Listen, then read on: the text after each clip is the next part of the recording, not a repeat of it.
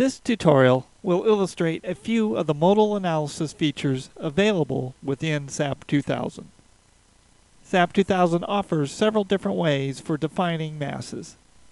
The masses used in the program are typically available from object material properties, applied loads, or assigned masses. For the first option, the define material command allows us to specify a weight per unit volume for each material type, which the program divides by gravity to calculate a mass per unit volume. The mass per volume is multiplied by the volume of the objects and then lumped by the program at the joints.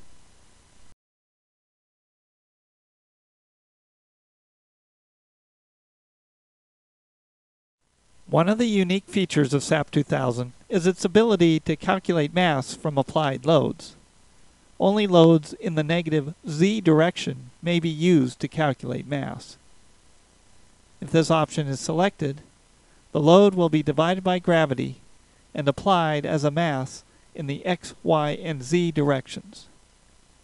In these units, a load of 32.2 applied in the minus z direction would result in a mass of 1. Added masses may also be assigned, in this case to the middle level joint objects via the assign joint masses command. We will assign mass in only the global x direction.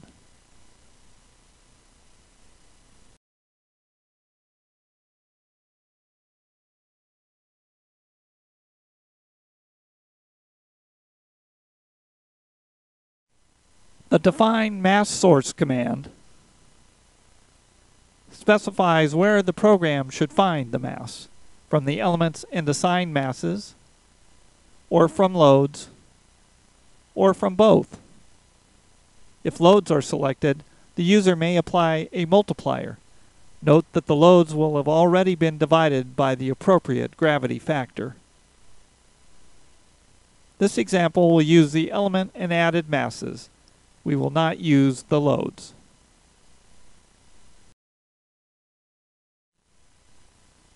The define load cases command lists the load cases. Select the modal case and click on the modify show button. Here we can specify the type of analysis, in this case modal, the type of vectors to be used, eigen for this tutorial, the initial conditions, and the number of modes to be generated, which will be set to a maximum of two.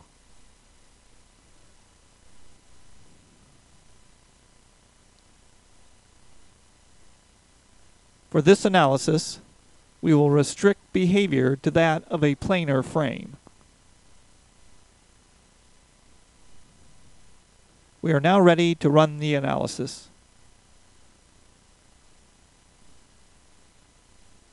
We will set the dead load case to do not run, as we wish to do only a modal analysis.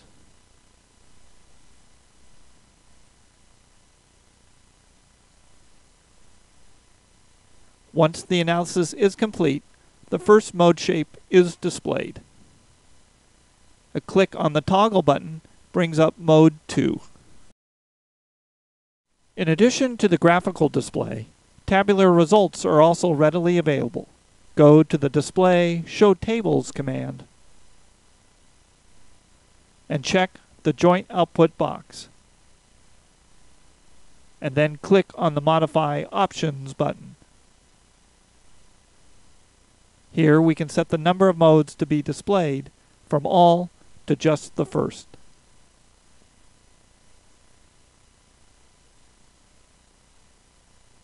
On the mass table, note that for our three middle level joints, the mass in the U1 or X direction is greater than that in the U2 and U3 directions by a value of 1. This is where we added the mass.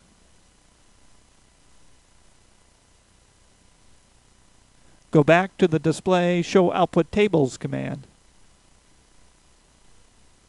uncheck the joint output box and check the structure output box. Click the Modify Options button and select All Modes.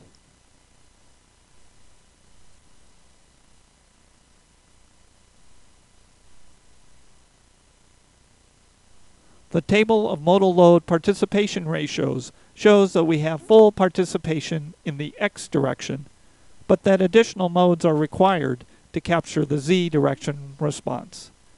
This concludes this tutorial on mass and modal analysis.